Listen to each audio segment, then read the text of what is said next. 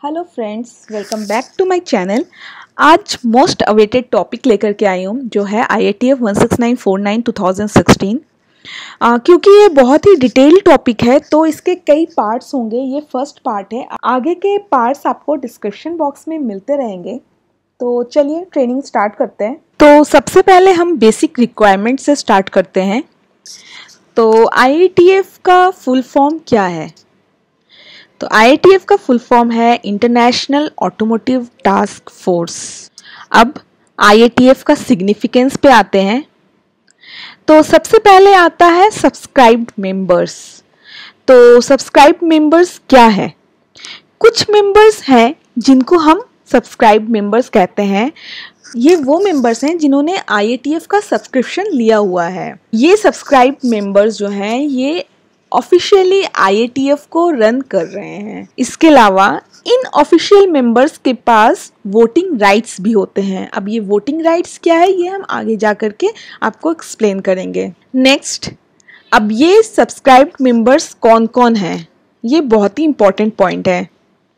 तो subscribe members के बारे में जान लें। Ford General Motors Daimler Chrysler V W Volkswagen Peugeot Fiat Renault B और लास्ट में लैंड रोवर ये टाटा मोटर्स लिमिटेड है और ये लास्ट ईयर अक्टूबर 2019 में ऐड हुआ है. 2019 में इन्होंने मेंबरशिप लिए हैं. साथ ही आपको ये भी बता दें कि इंडिया से टाटा मोटर्स लिमिटेड ही हैं जो सब्सक्राइब्ड मेंबर्स के लिस्ट में आते हैं. तो ये थे नाम हमारे सब्सक्राइब्ड मेंबर्स के. अब नेक्स्ट आता है why to focus on subscribed members अभी तक तो हम बात कर रहे हैं सब्सक्राइब्ड मेंबर्स की बट इनको हम क्यों फोकस करेंगे इनकी क्या ज़रूरत है? इनके बारे में हमें क्यों जानना चाहिए? तो सबसे पहले आप जान लें कि ये सब्सक्राइब्ड मेंबर्स के पास राइट ज़्यादा होता है। एग्ज़ाम्पल से समझाते हैं। सपोज़ आपका कस्टमर है मारुति और रेनो। ये दो कस्टमर्स हैं। मारुति के पास आपका 99 परसेंट बिज़नेस है।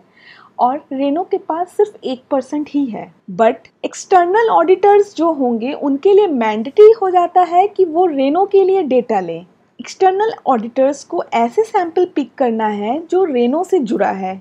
बिकॉज़ सब्सक्राइब कस्टमर जो होते हैं या सब्सक्राइब्ड मेंबर्स जो होते हैं, वो ही आई टी एफ़ ऑडिटर्स को नॉमिनेट करते हैं और वो उन पर रूल करते हैं। तो ये उनके लिए मैंडेटरी हो ऑडिटर्स के लिए मैंडेटरी हो जाता है कि वो रेनो के लिए डेटा लें। मारुति का डेटा ज़रूर लेंगे बट उनके लिए प्रियोरिटी जो है वो रेनो है।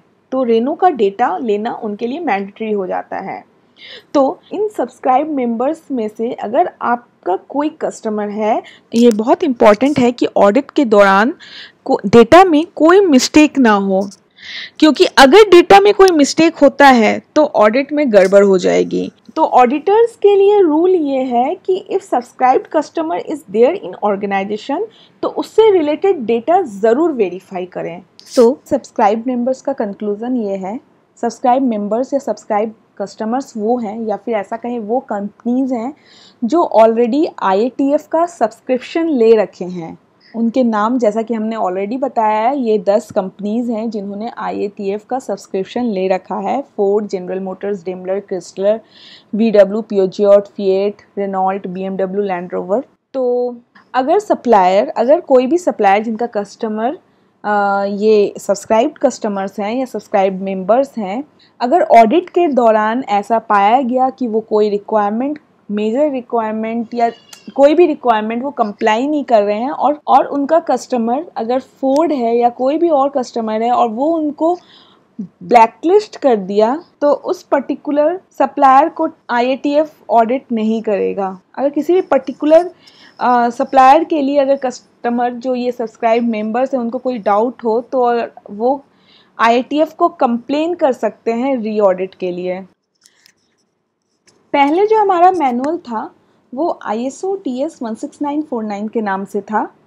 और अब जो हमारा मैनुअल आया है, वो I A T F one six nine four nine के नाम से है। तो नॉर्मली लोगों का कॉमन क्वेश्चन ये होता है कि क्या ये I A T F one six nine four nine जो स्टैंडर्ड है, ये आई एस ओ का स्टैंडर्ड नहीं है? क्योंकि इसमें तो आई एस ओ कहीं पर मैंशन नहीं है। तो आंसर है कि जी हाँ ये आई एस ओ का स्टैंडर्ड नहीं रहा। अगर आईएसओ ने इसे पब्लिश किया होता तो इस स्टैंडर्ड में आईएसओ ज़रूर मेंशन होता। जैसे कि पहले स्टैंडर्ड में ISO oblique T S one six nine four nine mention था, वैसे अब भी आईएसओ मेंशन होता। बट क्योंकि आईएसओ इसमें मेंशन नहीं है तो ये आईएसओ का स्टैंडर्ड नहीं रहा। बट सबसे इंपॉर्टेंट समझने वाली पॉइंट ये है कि ऊपर वाले दोनों स्टैंडर्ड में आई ए फोर नाइन और I S O four nine दोनों स्टैंडर्ड के लिए बेस रिक्वायरमेंट जो है, वो I S nine thousand one ही है। अब इन दोनों स्टैंडर्ड में रिक्वायरमेंट्स कैसे लिखे हुए हैं? तो पहले हम I S O T S one six nine four nine की बात कर लें। तो जैसा कि आप पिक्चर देख सकते हैं तो जो रिक्वायरमेंट रेक्टेंगुलर ब्लॉक्स में थे, इसका मतलब ये था कि वो I S O nine thousand one के रिक्वायरमेंट है। और जो भी ओपन रिक्वायरमेंट थे, वो टी एस के सप्लीमेंटल रिक्वायरमेंट है। तो आपको दोनों रिक्वायरमेंट फॉलो करने होते थे। इस तरीके से T S I S O T S one six nine four nine का स्टैंडर्ड में रिक्वायरमेंट्स जो लिखा होता था। But I I T F one six nine four nine में ये कॉन्सेप्ट जो है वो चेंज हो गया है। अब लिखी हुई कोई रिक्वायरमेंट आपको नहीं मिलेगी। आपको स्टैंडर्ड परचेज करना है और इम्प्लीमेंट करना है। सो so, ये जान लें कि I S O nine thousand one के बिना I I T F implement नहीं होगा। बट ये जो लेटेस्ट स्टैंडर्ड है I I T F one six nine four nine two thousand sixteen ये standard completely I I T F द्वारा owned है और वो I S O nine thousand one को प्रमोट कर रहे हैं। अब चलते हैं नेक्स्ट इन्फॉर्मेशन की तरफ़। क्वेश्चन ये है कि स्टैंडर्ड्स को कैसे नाम दिया जाता है, कैसे नेमिंग करते हैं हम स्टैंडर्ड्स की। तो जैसा कि मैंने पिछले स्लाइड में कहा था जहाँ सब्सक्राइब्ड मेंबर्स की बात कर रहे थे कि सब्सक्राइब्ड मेंबर्स के पास वोटिंग राइट्स होते हैं। तो ये वोटिंग राइट्स क्या है, ये इसी स्लाइड पे हम समझेंगे। तो आईएसओ के करंटली जो एक्टिव मेंबर्स हैं, वो बढ़कर के 164 हो गए हैं टोटल ये नंबर्स बढ़ते रहता है। तो अभी जो लेटेस्ट है, वो 164 हो गए हैं। मेंबर्स ज़्यादा हैं बट एक्टिव जो मेंबर्स हैं, वो 164 हैं। एक्टिव मेंबर्स मतलब जो मीटिंग अटेंड करते रहते हैं। अब ये भी जान लें कि 164 जो मेंबर्स हम बता रहे हैं, वो 164 अलग अलग कंट्रीज़ से हैं और जो इंडिया से रिप्रेजेंटेटिव है, वो है B I S, bureau of Indian standards. तो अब जैसे किसी स्टैंडर्ड से रिलेटेड कोई पर्टिकुलर रिक्वायरमेंट आई है तो इन्हीं आईएसओ एक्टिव मेंबर से पूछा जाता है कि क्या स्टैंडर्ड बनाए या नहीं बनाए। तो उस पर्टिकुलर नीड के लिए ये एक्टिव मेंबर्स वोटिंग करते हैं और जो वोट आता है यस और नो में, उसी के बेसिस पे स्टैंडर्ड्स डिज़ाइन किया जाता है।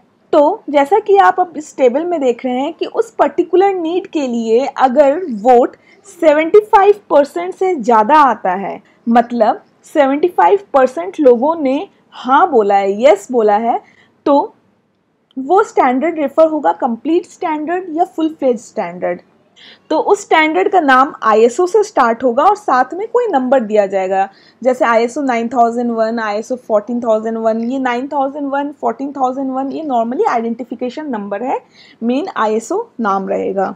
इसका मतलब ये फुल फ्लेज स्टैंडर्ड है कंप्लीट स्टैंडर्ड अगर वोटिंग परसेंटेज 67 परसेंट से 75 परसेंट तक है मतलब 67 परसेंट से 75 परसेंट लोगों ने इसे हाँ बोला है तो ये फुल फ्लेज स्टैंडर्ड नहीं कहलाएगा बट टीएस कहलाएगा। मतलब इसमें आईएसओ के साथ टीएस भी मेंशन होगा, जैसे I S O T S one six nine four nine I S O T S two two one six three ये रेलवे के लिए है। इसी तरह, अगर वोटिंग परसेंटेज 50 से 66 परसेंट के बीच में है तो आईएसओ कहता है कि टीएस भी रेफर नहीं करेंगे। इसको पीएएस के नाम से रेफर करेंगे। पीएएस मतलब publicly available specification PAS PAS 99 ये है इंटीग्रेशन रिक्वायरमेंट ऑफ़ स्टैंडर्ड और P A S two two zero ये फ़ूड के लिए स्टैंडर्ड है। तो वैसे ही अगर वोटिंग परसेंटेज 50 परसेंट से कम है तो आईएसओ कहता है सॉरी हम कोई स्टैंडर्ड नहीं बना सकते। इसका एक एग्ज़ाम्पल है जो हमारा पहले का स्टैंडर्ड था ओसास वो आईएसओ का स्टैंडर्ड नहीं था. ये एक ब्रिटिश स्टैंडर्ड था. थ्री टाइम्स वोट किया गया था जो फेल हो गया था. तो ये ओसास के नाम से था और आईएसओ इसे बनाने से मना कर दिया था. अब चलते हैं नेक्स्ट रिक्वायरमेंट की तरफ़. अब हमारा जो स्टैंडर्ड है वो इन सबसे काफ़ी ऊपर उठ गया है. आई स्टैंडर्ड को कम्प्लीटली ओन करता है स्टैंडर्ड पब्लिश भी आई ही करेगा। आई स्टैंडर्ड जो है, वो 2016 में पब्लिश्ड हुआ था I I T F one six nine four nine two thousand sixteen के नाम से। अब ये स्टैंडर्ड मल्टीपल टाइम रिवाइज हुआ है।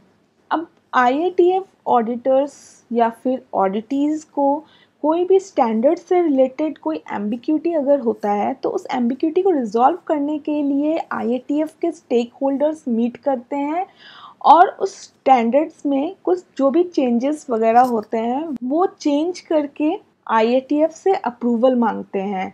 अगर वो चेंजेस आई ने अप्रूव कर दिया तो वो आपको रेफ़र करना है। मतलब स्टैंडर्ड के रेफरेंस में जो कन्फ्यूज़न थे, वो रिपब्लिश करते हैं विथ अ चेंज चेंज के साथ रिपब्लिश करते हैं और जहाँ पब्लिश करते हैं, उस डॉक्यूमेंट का नाम है सैंक्शन इंटरप्रिटेशंस एस आईज के नाम से जाना जाता है। ये आई के द्वारा अप्रूव्ड रिवीजन या चेंज है। तो स्टैंडर्ड जो पब्लिश हुआ था वो 2016 में। तो ठीक उसके एक साल बाद अक्टूबर 2017 में एस पहली बार पब्लिश हुआ, जिसमें एक से नौ तक टोटल नाइन रिक्वायरमेंट्स थे जो चेंज हुए थे। वैसी अप्रैल 2018 में 10 से 11 दो और रिक्वायरमेंट चेंज हुए। वैसे ही जून 2018 में 12 से 13 दो रिक्वायरमेंट चेंज हुए। नवंबर 2018 में 14 से 15 दो रिक्वायरमेंट चेंज हुए। अभी तक टोटल 15 हुआ और वैसे ही सबसे अभी लेटेस्ट जो है, नवंबर 19 में 16 से 18 तीन और रिक्वायरमेंट चेंज होकर के टोटल आई में टोटल 18 रिक्वायरमेंट स्टैंडर्ड्स के 18 रिक्वायरमेंट्स चेंज हो गए तो ये जो 18 रिक्वायरमेंट्स चेंज हुए हैं तो आई स्टैंडर्ड बार बार ये अठारह रिक्वायरमेंट को अपने स्टैंडर्ड uh, में इंक्लूड नहीं करेगा। बल्कि इन्होंने क्या किया है एक अलग से सेपरेट डॉक्यूमेंट रिलीज़ किया है एस या सैंक्शन इंटरप्रिटेशंस के नाम से जिसमें वो सारे चेंजेस रिफ्लेक्ट होंगे। तो एक तो आपका इनिशियल जो आई स्टैंडर्ड रिलीज़ हुआ था, वो एज इट इज़ रहेगा, उसमें कोई चेंजेस नहीं रहेंगे। और जो भी चेंजेस होता रहेगा, वो सैंक्शन इंटरप्रिटेशंस में रिफ्लेक्ट होता रहेगा। अब क्वेश्चन आता है कि हमने स्टैंडर्ड तो परचेज कर लिया बट ये सैंक्शन इंटरप्रिटेशन कहाँ से परचेज करेंगे? तो जैसा कि आई को ऑफिशियल वेबसाइट है I global oversight dot O R G उस पर आपको ये sanction interpretation free of cost मिल जाएगा। अब जैसे ये आई का साइट आप देख रहे हैं I I T F global oversight dot O R G यहाँ पे, यहाँ पहला वाला ड्रॉप डाउन क्लिक करेंगे तो यहाँ पे आपको मिल जाएगा I I T F F A Qs और यहाँ पे मिल जाएगा I I T F one six nine four nine two thousand sixteen S Is S Is को क्लिक करते हैं तो यहाँ पे आपको इंग्लिश ये आपको सारे एस आईज़ मिल जाएँगे और ये सारे रिविजन्स के अकॉर्डिंग यहाँ पे रिवीजन हिस्ट्री मैंशनड है। तो इस वेबसाइट पे आपको S I sanction interpretation free of cost मिलेगा। आपको इसके लिए कोई चार्जेस पे नहीं करने हैं। तो आई इम्प्लीमेंट करते वक्त हमें I A T F one six nine four nine तो फॉलो करना ही पड़ेगा क्योंकि ये मेन स्टैंडर्ड है। साथ ही I S O nine thousand one two thousand fifteen भी फॉलो करना है क्योंकि स्टैंडर्ड खुद इसे रेफ़र कर रहा है। इसके अलावा जैसा कि हमने अभी डिस्कस किया एस या सैंक्शन इंटरप्रिटेशन इसे भी रेफ़र करना है। क्योंकि आपके पास कोई चॉइस नहीं है। कोई भी आई से रिलेटेड चेंजेस के लिए आपको सैंक्शन इंटरप्रिटेशन फॉलो करना मैंडेटरी है। अदरवाइज़ मेजर नॉन कन्फर्मिटी है।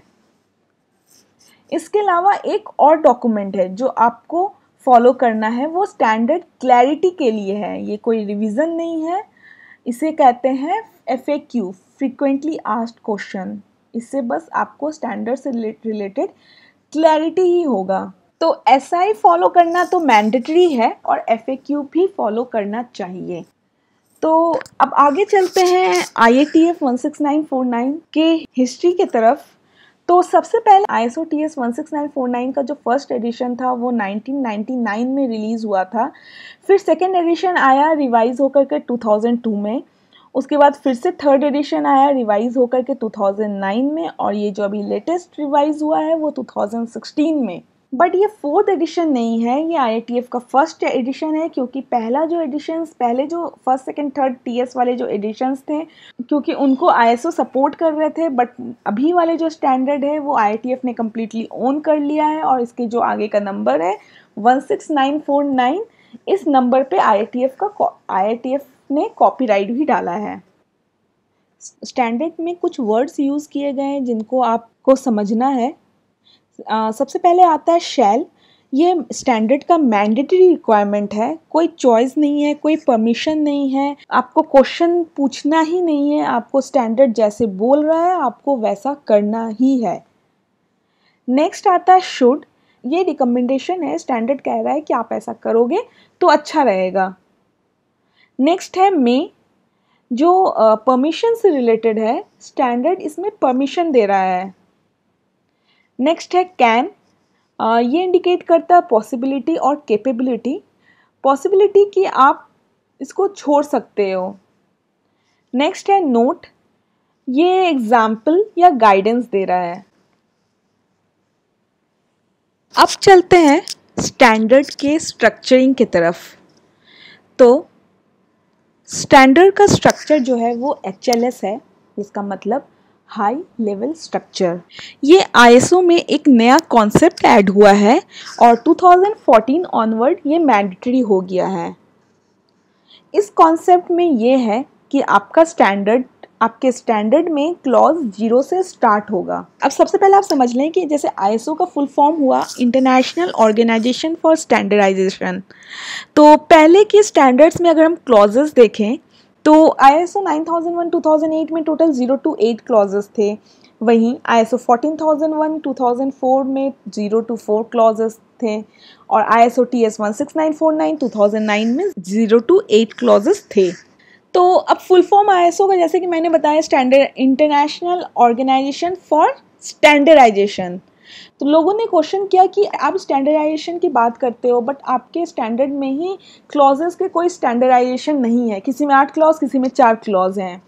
तो ये एज अ प्रॉब्लम आइडेंटिफाइड हुआ 2012 में। तो इस प्रॉब्लम को प्रपोज किया गया और 2014 ऑनवर्ड्स ये मैंडेटरी हो गया। तो ये कहा गया कि आईएसओ के सारे स्टैंडर्ड्स में आपको टोटल 10 क्लॉज ही मिलेंगे। सारे मैनेजमेंट स्टैंडर्ड में सेम लेवल ऑफ़ स्ट्रक्चर होगा। अब इसका बेनिफिट क्या है? अगर कोई organisation multiple management system standards implement कर रहा है आईएसओ 9000 14000 आईएसओ 45,000 सारे इम्प्लीमेंट कर रहा है। अब सिमिलर क्लॉजेस होने की वजह से इन स्टैंडर्ड्स के इम्प्लीमेंटेशन में कॉम्प्लेक्सिटी कम हो जाता है।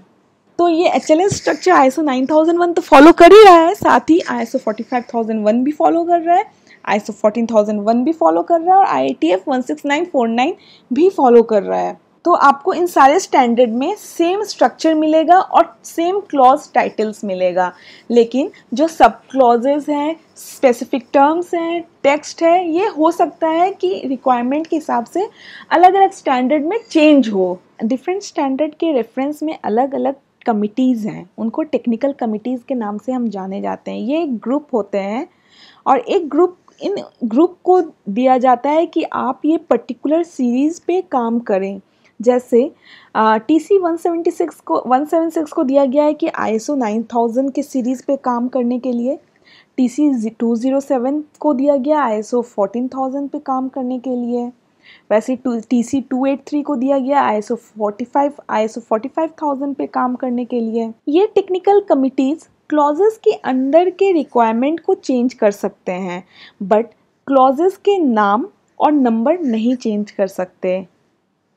टेक्निकल कमिटीज़ के पास कोई राइट नहीं है कि ये क्लॉजेस के नाम के साथ छेड़छाड़ कर सकें। जो जो भी एचएलएस ने जो भी स्ट्रक्चर डिफ़ाइन किया है, उसी उसी स्ट्रक्चर के अंदर उनको काम करना है। वो अंदर के सब क्लॉजेस के साथ छेड़छाड़ कर सकते हैं बट क्लॉजेस के साथ कोई छेड़छाड़ नहीं कर सकते हैं। मतलब क्लॉजेस के नाम और नंबर वो चेंज नहीं कर सकते हैं। इनका जो मेन राइट है, वो स्टीयरिंग कमेटी के पास होता है। उनके अलग रिफाइंड रिक्वायरमेंट्स हैं और उनके पास राइट होता है कि इनके नाम और नंबर के साथ वो चेंजेस कर सकें बट टेक्निकल कमेटी के पास कोई राइट नहीं है। अब जैसा कि एचएलएस का रिक्वायरमेंट जो है, वो आईआईटीएफ भी फॉलो करता है तो उसके अकॉर्डिंग ये टोटल टेन क्लॉजेज जो हैं ज़ीरो से स्टार्ट होते हैं और टेन तक हैं। ज़ीरो क्लॉज है इंट्रोडक्शन फ़र्स्ट है स्कोप ऑफ़ स्टैंडर्ड सेकेंड है नॉर्मेटिव रेफरेंस थर्ड है टर्म्स एंड डेफिनेशंस फोर्थ है कंटेक्स्ट ऑफ़ ऑर्गेनाइजेशन फिफ्थ है लीडरशिप सिक्स है प्लानिंग सेवेंथ है सपोर्ट एट है ऑपरेशन नाइन्थ है परफॉर्मेंस इवेलुएशन और टेंथ है इम्प्रूवमेंट इसको याद करने का तरीका है I S N T C L P S O P I आप ये एवरीवेशन याद कर लें, आपको सारे क्लॉजेस याद रहेंगे. अब इसके बाद हमारा सारा जो पीपीटी होगा हमारे जो सारे स्लाइड्स होंगे वो ज़ीरो टू टेन तक ये सारे क्लॉजेस को one by one in detail में आपको क्या रिक्वायरमेंट है क्लॉज का आ, क्या चेंजेस हैं पहले से अब में क्या चेंजेस हैं और उस चेंजेस को कैसे एड्रेस करना है उससे रिलेटेड क्या प्रोसीजर्स मैंडेटरी है क्या मैंडेटरी नहीं है और कहाँ डॉक्यूमेंट्स प्रिपेयर करना है, कहाँ डॉक्यूमेंट्स प्रिपेयर करना नहीं है, ये सारा डिटेल हम क्लॉज बाय क्लॉज आपको डिटेल में एक्सप्लेन करेंगे। आगे आपको सारे इसी से रिलेटेड इन्फॉर्मेशन मिलेंगे। अगर आपको मेरा ये वीडियो पसंद आया हो तो मेरे वीडियो को लाइक ज़रूर करें। और अगर आप नए व्यूअर हैं तो मेरे चैनल को सब्सक्राइब ज़रूर करें, क्योंकि ये आगे भी आने वाले जो भी वीडियोस होंगे, वो आईआईटीएफ से रिलेटेड होंगे। आईआईटीएफ के आगे वाले पार्ट्स हैं, जिससे आपको आईआईटीएफ से रिलेटेड डिटेल नॉलेज गेन होगा। अगर आपका कोई क्यूरी हो तो आप कमेंट सेक्शन में भी पूछ सकते हैं। इसके अलावा आप मेरे वीडियो को ज़्यादा से ज़्यादा शेयर करें। Thanks for watching